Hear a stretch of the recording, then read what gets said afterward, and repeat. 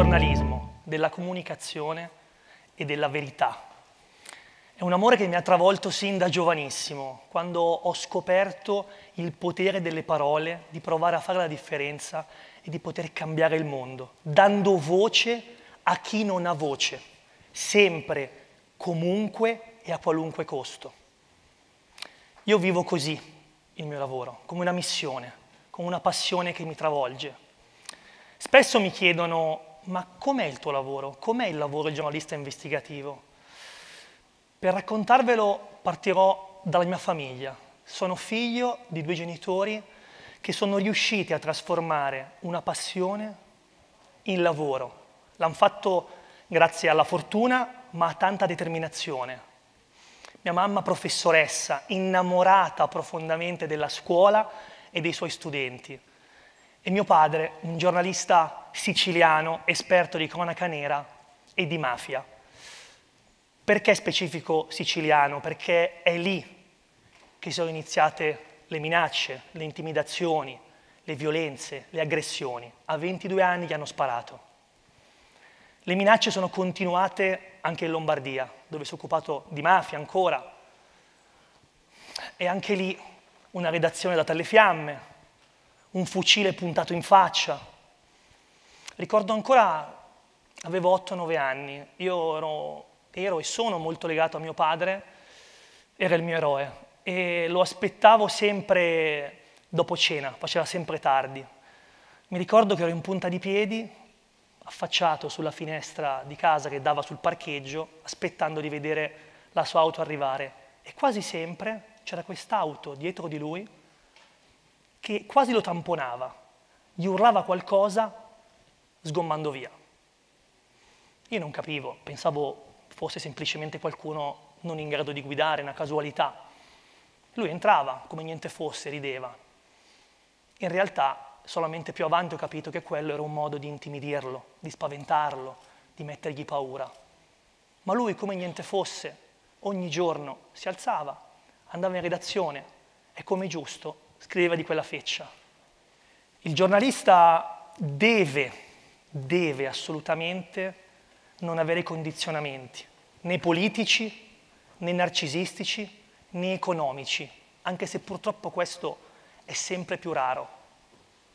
L'unica bussola che guida il giornalista dovrebbe basarsi sull'onestà intellettuale, su questa onestà intellettuale fondamentale, la deontologia e la ricerca e l'esigenza di verità, quella stessa esigenza di verità che mi ha spinto per le Iene a vivere per tre mesi durante il Covid-19, tra ottobre 2020 e dicembre 2020, per tre mesi nelle aree Covid dell'ospedale di Padova, documentando la pandemia, documentando l'instancabile lavoro di medici, OS e infermieri, la paura, il terrore e la speranza di familiari e di pazienti, così come documentare anche l'efficacia del plasma iperimmune ho fatto anche tanto lavoro sotto copertura, perché a volte per la verità bisogna rischiare.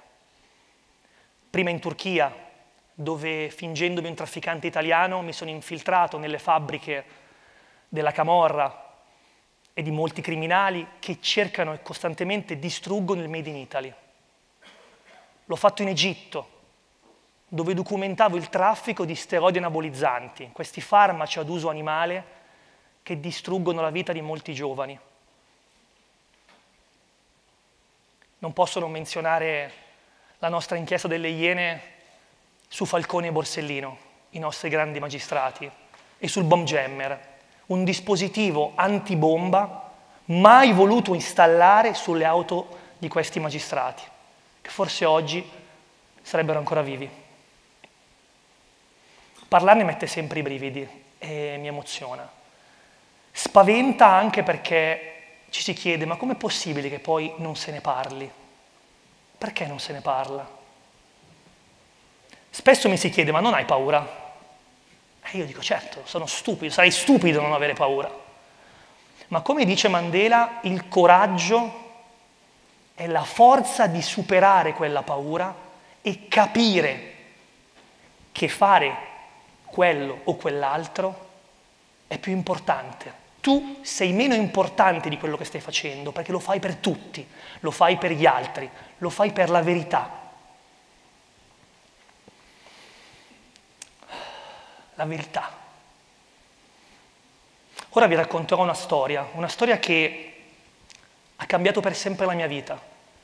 Ancora oggi, e so che mentre la racconterò, mi sembrerà incredibile, inimmaginabile, impossibile, eppure vi garantisco che è vero.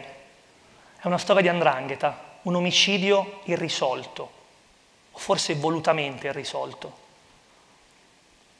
Siamo a Paola, è il 1982, comune in provincia di Cosenza, Calabria. Un imprenditore locale e consigliere comunale della DC, un partito potentissimo in quell'epoca, con un discorso molto potente in consiglio comunale, accusa il partito di essere corrotto e ne prende le distanze. Lui è Pompeo Panaro. Dopo poche settimane quell'uomo scompare nel nulla. Lascia due figli piccoli e una moglie che per 30 anni non sanno niente di lui. Sanno solamente quello che leggono sui giornali, è l'upara bianca. Cos'è la lupara bianca? L'upara bianca è un gergo giornalistico per intendere quando dopo un omicidio le cosche, i clan, fanno sparire quel corpo per sempre, perché vogliono distruggerne la memoria in eterno. E quasi ci riuscivano. Ma il figlio, Paolo Panaro, un uomo unico, eccezionale, dal coraggio inimmaginabile, non si è mai arreso, nonostante le tante porte chiuse in faccia. Casualmente un giorno apre un giornale locale, quell'articolo parla di Andrangheta, parla anche di suo padre e legge come indicato negli atti giudiziari. E lui dice, ma quali atti giudiziari? Di mio padre non sappiamo niente, è scomparso nel nulla. Pensa ad un errore. Paolo però vuole saperne di più, chiede ad un avvocato di fare accesso agli atti per avere questi presunti documenti. E come niente fosse, da niente quasi mille pagine di un fascicolo di indagine per omicidio. Da niente per 30 anni a mille pagine. Paolo non ci può credere, inizia a studiare e scopre di tutto, errori madornali, indagini fatte in modo, come possiamo dire, superficiale, ma sono due gli elementi che lo lasciano basito, arrabbiato, scioccato. Il primo, i resti del padre erano stati ritrovati pochi mesi dopo la scomparsa. Perché alla famiglia non è mai stato detto? E il secondo elemento, ancora più incredibile, Già nel 90 due pentiti appartenenti a, un clan potentissimo locale di Andrangheta, presunti responsabili di questo assassino, avevano già parlato, già testimoniato, dicendo sostanzialmente le stesse cose, indicando lo stesso esecutore materiale, indicando la stessa arma utilizzata, le stesse modalità omicidiarie, lo stesso luogo di seppellimento e per giunta lo stesso movente. Ma incredibilmente tutti i magistrati che hanno avuto in mano quelle carte hanno sempre archiviato. Per Paolo è abbastanza. Dice no, non è possibile, sono troppe anomalie. Presenta un esposto alla DDA, la Direzione Distrettuale Antimafia di Catanzaro, competente sul caso. La DDA apre le indagini e le chiude in un batter d'occhio, arrivando a tre conclusioni.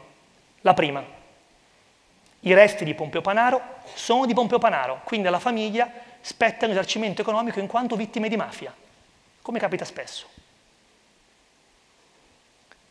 Il pentito, uno dei due, rinviato in assise.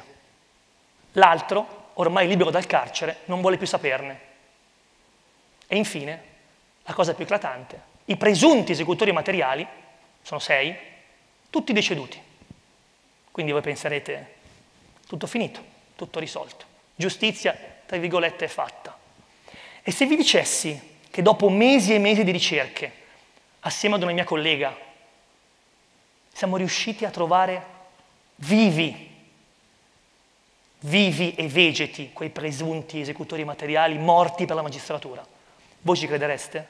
Io no, eppure è la verità. Uno sul muletto che lavorava, un altro a fare la spesa, un altro a sbigare delle commissioni. E indovinate un po'? Quasi tutti vivono e lavorano nello stesso comune dove vive Paolo Panaro.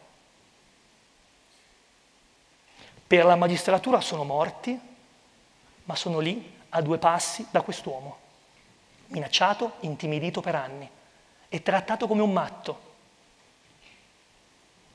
Ora, questo è il giornalismo investigativo, il tentativo di portare luce dove altri vogliono mantenere il buio, un buio che può fare davvero paura e può fare male a tutti quanti. Perché racconto a voi questo? Voi non fate il mio mestiere. Ma penso profondamente che, a prescindere dall'età, vedo molti giovani, o dalla propria professione, tutti possano ricercare la verità, debbano ricercare la verità, non accontentarsi di verità preconfezionate, superficiali, di parte, politicizzate, ma andare oltre, chiedere di più, pretendere di più, pretendere quella vera verità che spesso ci viene negata. E con questo vi lascio con un augurio. Siate coraggiosi, sempre. Provate a fare la differenza ogni singolo giorno, ma soprattutto ricercate la verità per voi e per tutti. Grazie.